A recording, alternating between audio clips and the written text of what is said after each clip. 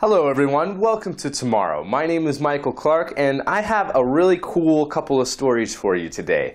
And boy, I had one of the best weekends ever over this last weekend. I hope that you guys were able to tune into our live show for episode 9.31, where I was actually physically in studio and had a great time. And during that live show, we were talking about Elon Musk's big announcement for the interplanetary transport system, which he announced at the International Astronautical Congress in Guadalajara. Guadalajara, Mexico. But there was quite a lot of announcements that were made at that conference, and there's so much information to talk about. We could probably talk about that conference and what was said and revealed there at that conference for the rest of the month. So there's two specific stories that I want to get into this week and uh, illuminate on some really cool ideas that I really want to happen. So stay tuned. This is your Space Pod for October 5th, 2016.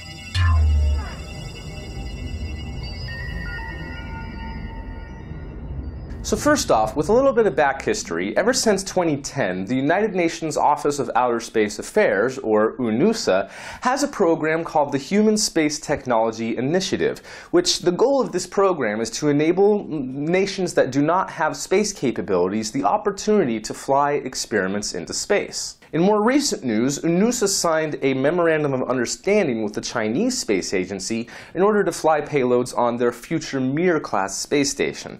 But the announcement that was made at the International Astronautical Congress, and this was actually on Tuesday, September 27th, was that they would be flying their first space mission on Sierra Nevada's Dream Chaser spaceplane. The mission would be on the cargo version of Sierra Nevada's Dream Chaser spaceplane, and it would be a dedicated free flight carrying multiple experiments.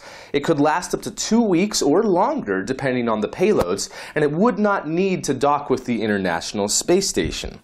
UNOOSA hopes to fly the mission in 2021 and is now accepting proposals for those different payloads, with a deadline for submissions by early 2018. The cost of the mission would likely be shared between the nations and companies who win a payload slot, as well as UNOOSA themselves. Most likely, this would be launching on top of an Atlas V rocket, as that's how Sierra Nevada has been designing their Dream Chaser spaceplane. Although it does have the option with their cargo version, since they can fold the wings, they could potentially launch on an Ariane 5. So, it might not necessarily be an Atlas V. And if it is an Ariane 5, then uh, uh, there might be other different sort of cost-sharing options that would be available for this mission.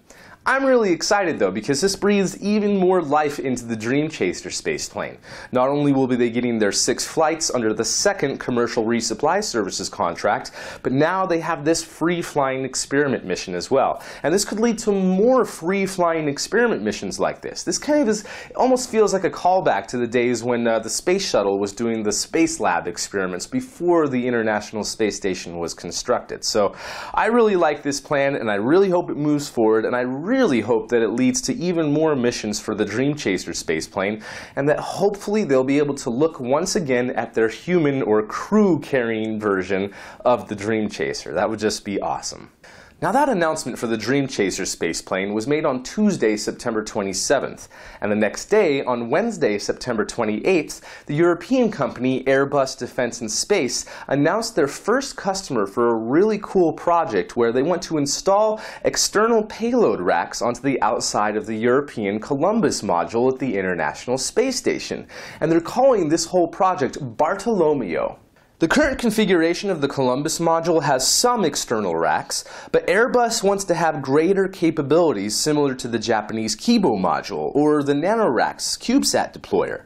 And Airbus was actually the company that built that deployer for NanoRacks, so they have some experience with this already. Airbus hopes to have the platform installed on the Columbus module by the end of 2018, but officials at the conference said that they were still working out launch arrangements and were in discussions with NASA for the spacewalk that would be needed to install the platform outside of Columbus. The first customer that will be sending an experimental payload to the Bartolomeo platform will be an Australian based company called Neumann Space, who will be testing a solar electric thruster that uses metallic fuels rather than gas like xenon. And with this, there's a lot of different options on the different types of metallics that they could use for the fuel.